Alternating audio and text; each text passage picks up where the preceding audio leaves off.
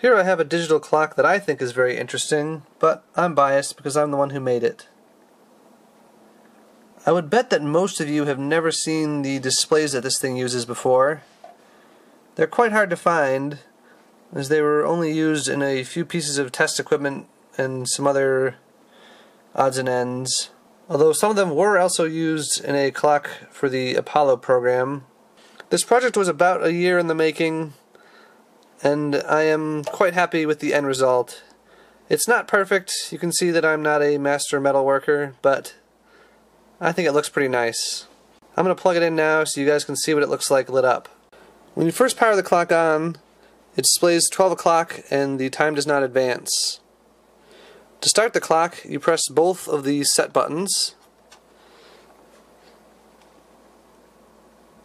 You can see it start counting away there.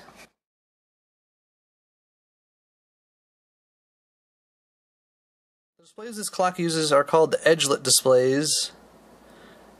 And the ones in this particular clock are some of the best ever made, in my opinion. They produce very beautiful, evenly lit numbers.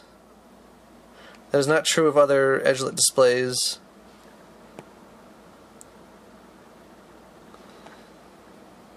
The cabinet is a vintage one from either the late 60s or early 70s and was sold by Radio Shack under their Archer brand. It took a while to find a suitable cabinet for this, so I'm glad I came across this one. There aren't too many controls on this thing. There's just this selector switch for displaying the alarm time or the regular time, and then the two set buttons. This button here sets the hours,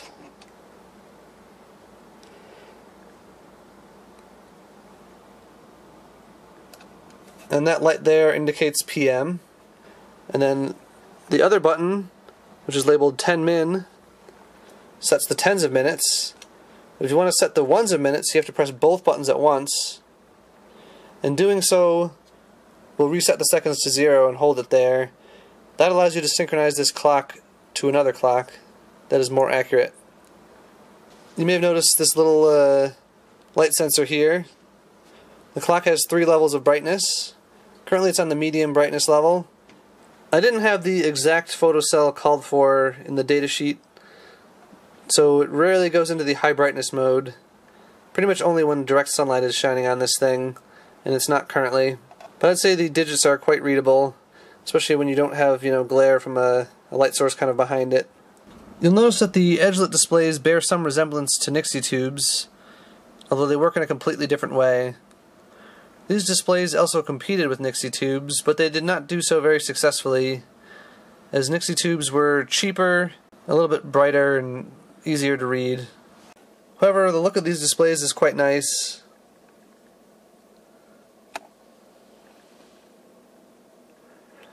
And they run on low voltage, unlike Nixie tubes.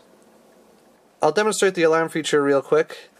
So to set the alarm time, you just flick the switch over to the alarm position, and then uh, set it to the time you want. Let's say, uh, I don't know, 5 a.m. And I'll bring the regular time close to 5 a.m.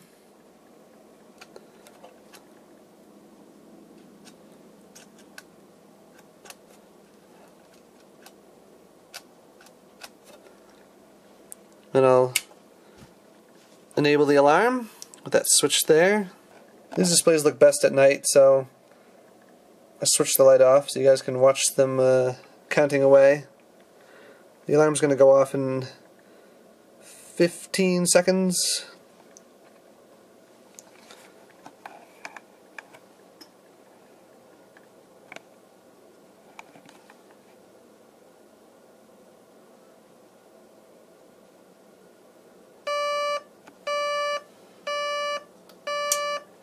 You can snooze the alarm for 10 minutes with this button here.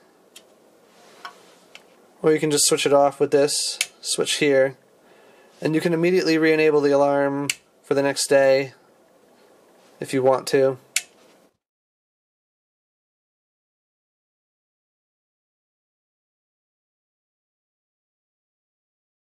This clock is quite heavy for its size because the cabinet is all metal and the displays are largely made of metal as well. And there's a transformer in there. Alright, I'm going to unplug it and show you guys the insides. I'm pretty proud of that, so it's definitely worth showing off. Alright, I removed the four screws and washers that were on the sides of the clock. I just noticed that one of them does not match the others. Must have gotten switched around. I'll have to see where that got off to. With those screws out, the cover just lifts off like so. And you can get at the insides of the clock. The displays originally took incandescent bulbs. If I'm remembering correctly, they were uh, 14 volt types. Using strips of perf board here, I built my own LED holders and installed some nice high quality warm white LEDs and I did all this uh, wiring by hand as well. The displays are multiplexed which means that only one of them is on at any given time. The downside of that is that it does reduce the brightness so I had to drive the displays fairly hard to compensate. The pulse current to each LED is about 30 milliamps. They are nicer quality LEDs, so they can handle it. Alright, I'm going to try and explain the circuitry of this clock, which is quite a bit more complicated than most of the ones that I have. You notice that there's four ICs in here and a bunch of transistors. The heart of the clock is this Mostek MK50250, which dates back to the 1970s, as does the RS500 chip in the back there, which is just a rebadged 75492. That's a digit driver chip. And it's actually specifically called for in the datasheet for this Mostek clock chip. Although you can also use discrete transistors. And I would actually recommend that because I had one of these chips uh, die on me during the assembly process. I think it got hit with some static, but I don't know that for certain. In any case, one of its inputs shorted out to uh, I think the positive rail. It's been a while, so I don't remember anymore. I added uh, some resistors between the inputs and the clock chip, though, just in case that happens again, so it can't, you know, damage the clock chip. The Mostek clock chip is intended to drive seven-segment displays, and these are decimal displays, which means that they have digits zero through nine instead of having you know the seven segments like typical LED displays do. So that needs to be translated to a uh, decimal output. To do that, I use these two chips here. The first one is this MM74C915N. That's a 7 segment to BCD translator chip. And then next to it is a CD4028.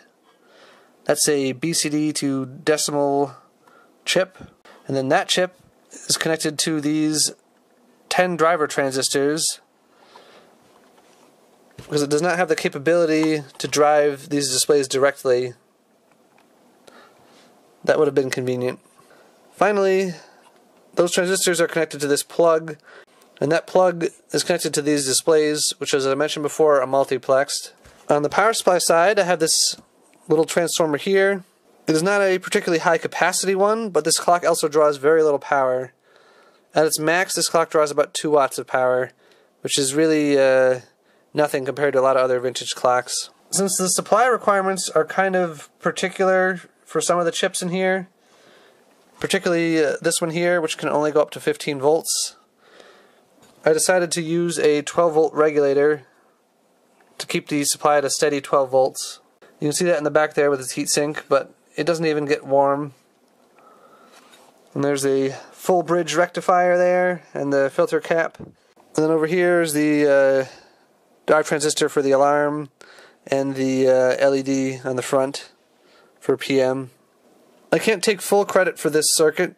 I was pointed to these two chips by a friend, and he also showed me his own schematic, but I made quite a few changes to make this my own way, since I used a different clock chip than him, and I also use this uh, dedicated digit driver chip there that he did not use. And this has an alarm and dimming as well. But I do very much appreciate the help. Well, I think that covers all the circuitry in here. I hope you found that all interesting. Thanks for watching.